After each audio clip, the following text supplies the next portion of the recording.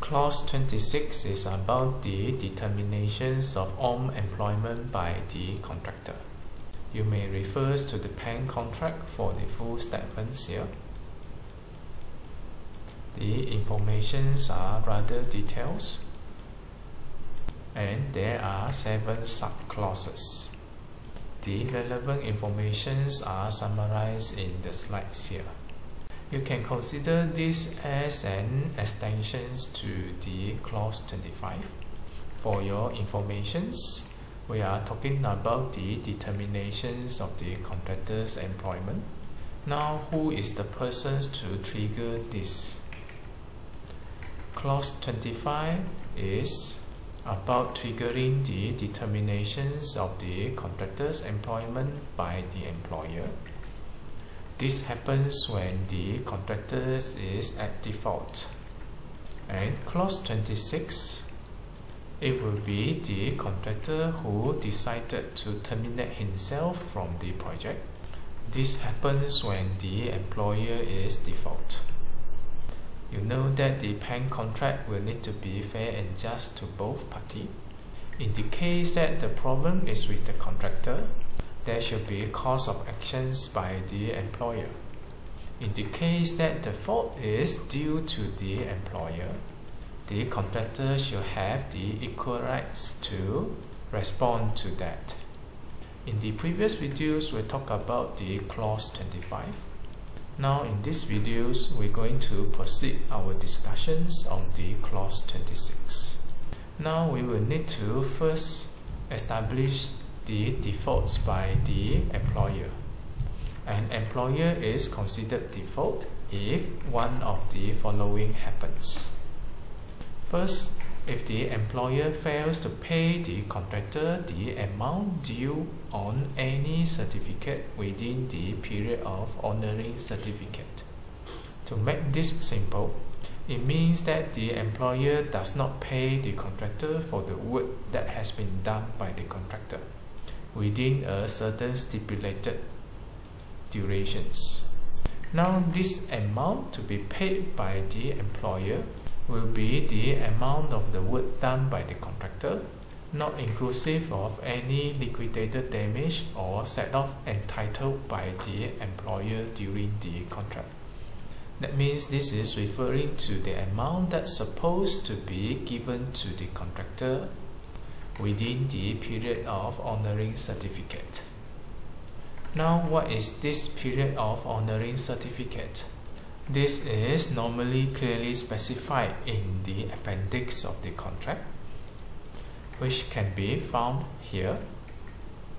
If nothing has been written here, it will be by default taken as 21 days from the date of the certificate. The certificate here referring to the interim certificate where the contractor can claim for the work that has been done. So it is typically 21 days.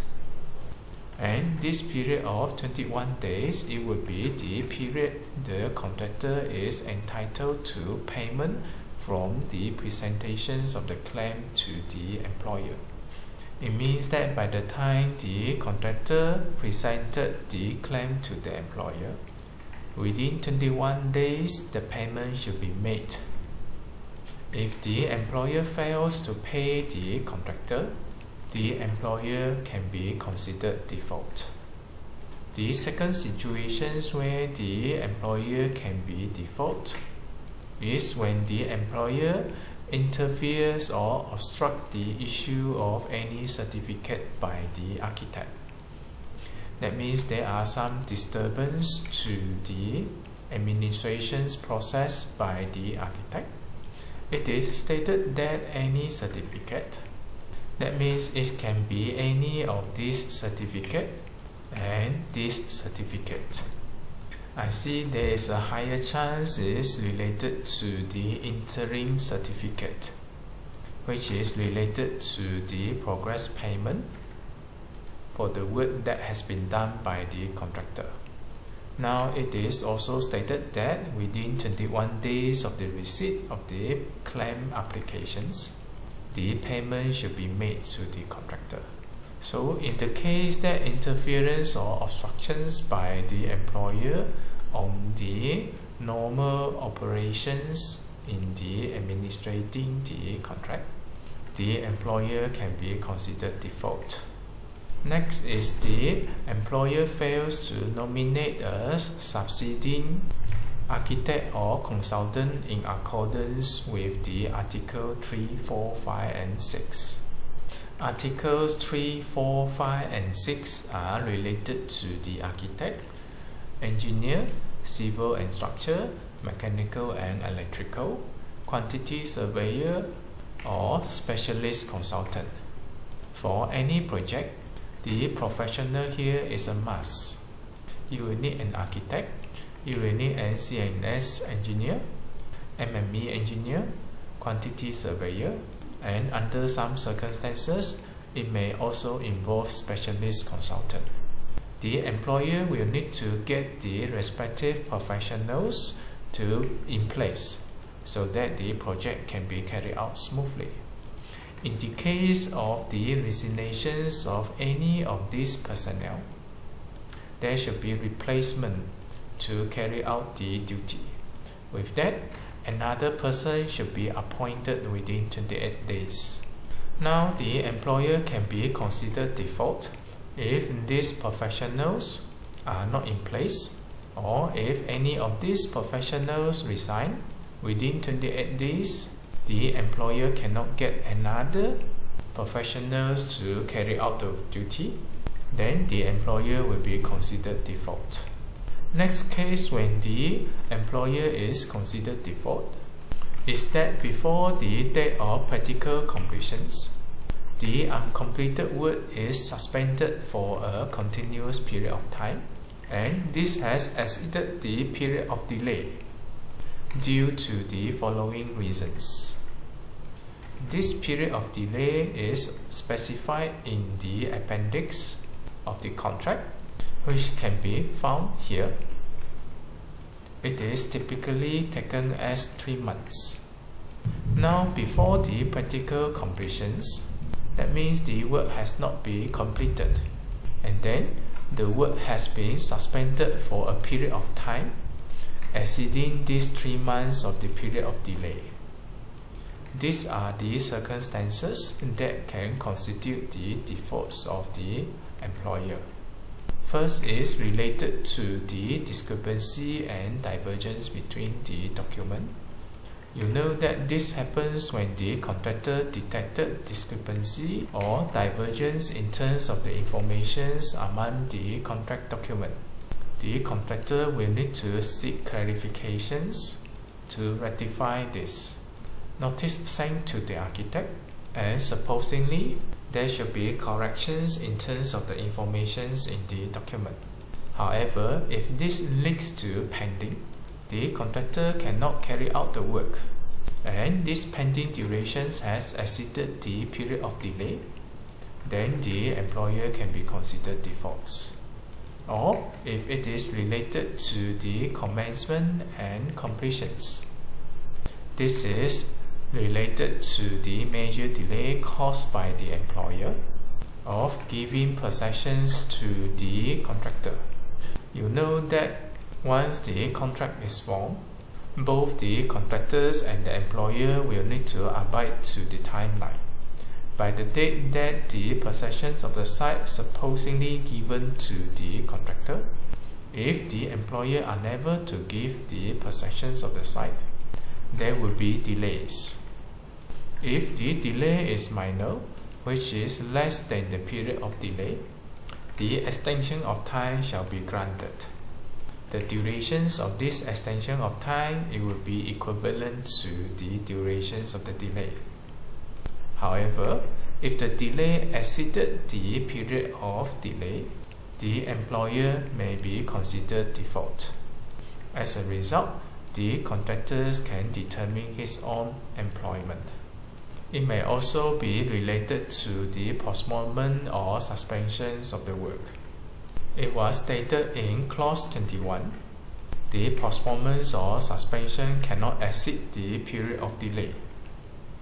Now that the period of delay has been exceeded, the employer is considered default.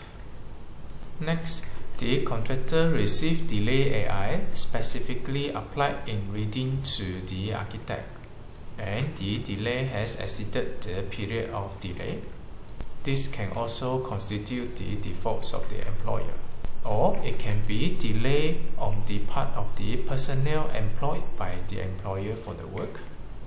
Probably in the contract, it was specified that a certain personnel should be given by the employer for the work, which the contractor cannot allow to have his own personnel. Then the contractor will have to wait for the respective personnels.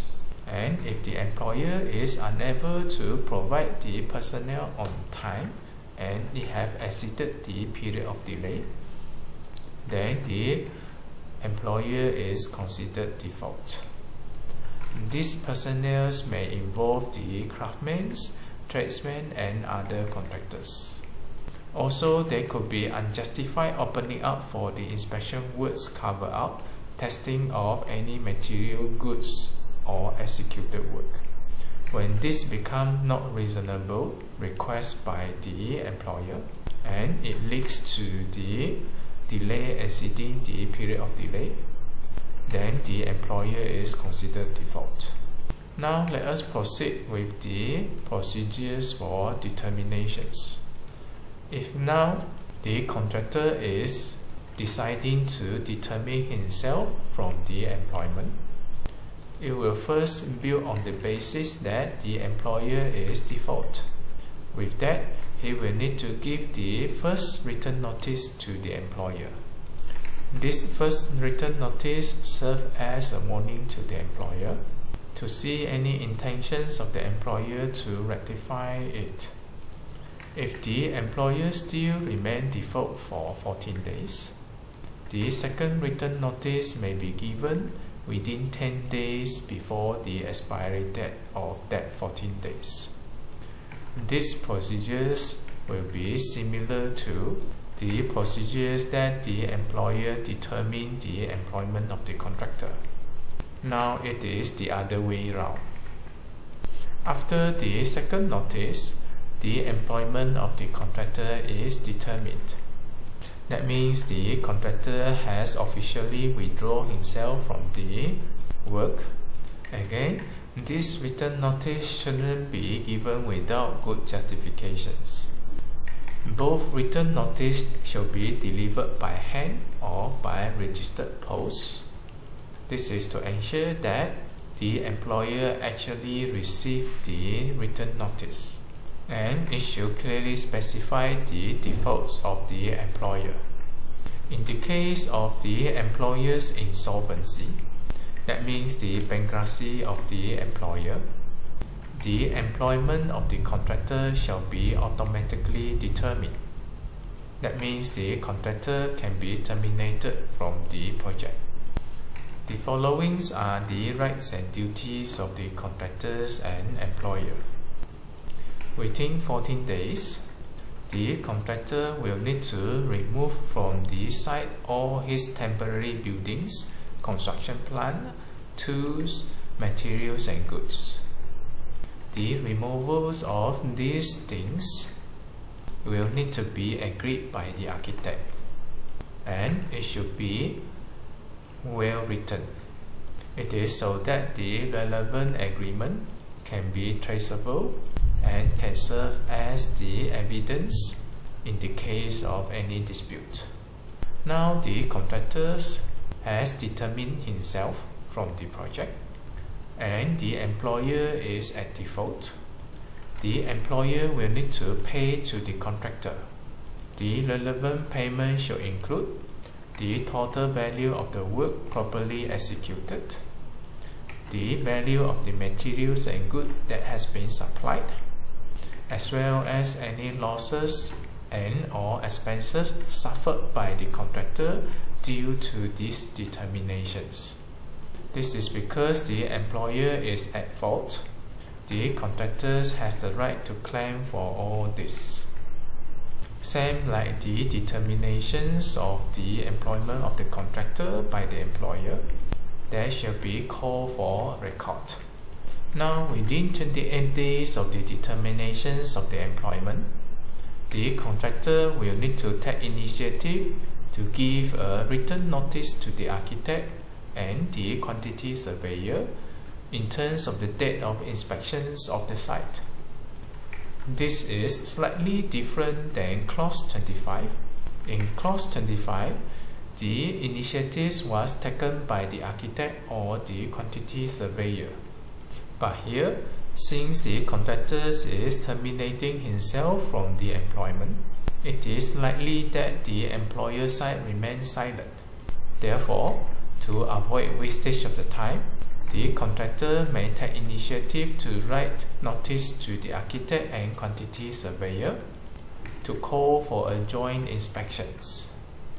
The inspection should be done in the presence of the contractor, the architect, and the quantity surveyor. It is to determine the extent of the work executed as well as the materials and goods delivered to the site. This information will be very important for the final account later. Then once the record has been completed, the contractor will need to send a copy to the employer architect and quantity surveyor. This again is slightly different than clause 25. This record was done by the architect or quantity surveyor. Now, this record is finalized by the contractor and sent to the employer, architect and quantity surveyor. This finalized record will be the basis for the evaluations of the values of the work executed as well as the materials and goods delivered to the site by the contractor up to the date of determinations. Later, for whichever work that has been completed by the contractor, as well as the materials and goods that has already been delivered to the site, the contractor should be entitled for the payment. That's why it requires a joint inspections between the contractor, architect and quantity surveyor so that no party can take advantage over the other party. Now we move on to the settlements of account. Within six months after the determinations of the employment, the contractor will need to submit to the employer, architect and quantity surveyor a final account for the total value of the work properly executed, the value of materials and goods supplied, as well as the loss and or expenses suffered by the contractor. This one again is slightly different from the clause 25.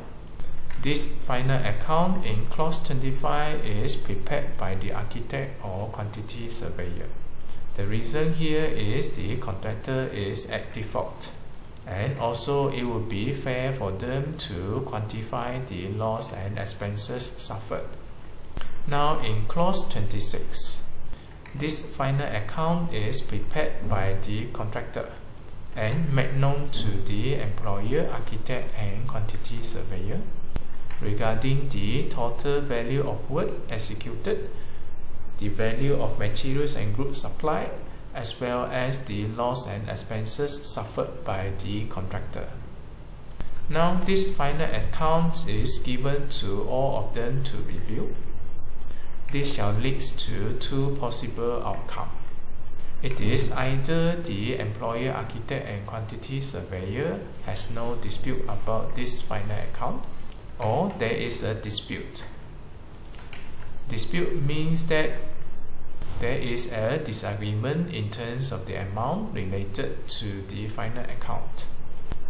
If there is no dispute, within three months from the date of the receipt of the final account, and the employer side remains silent, the final account will be considered conclusive, and it is deemed to be agreed by the parties. Now there are two possible outcomes. If the final account is more than the sum previously paid to the contractor, that means the employer still owns the contractor. With that, the employer will need to pay to the contractor within the period of honoring certificate. The relevant period is typically 21 days.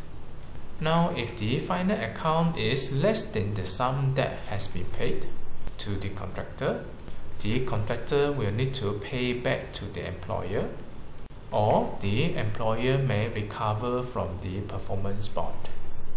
This is about the process when there is no dispute. That means the employer agreed with the final account and everything can go smoothly and settle the amount. In the case that there is any dispute, within three months from the date of receipt of the final account, the employer will need to give written notice to the contractor plus the supporting particular to the contractor to justify the dispute. As the final account is produced by the contractor here, it is possible that the accounts are concluded to the advantage of the contractor. And within three months of receipt of this final account, the employer may argue the final figures in the final account. And then within three months from the date of the receipt of the ground of dispute, the contractor can choose either to amend or not to amend the final account. Now it will be up to the employer to agree or to disagree with this final figure. If the employer agree, then this part shall trigger. It is either the employer pay to the contractor or the contractor pay to the employer. Now, if the employers still do not agree, then the case shall be referred to the arbitrations, which is in clause 34. This has to be done within three months of the date of the receipt of the amended final account.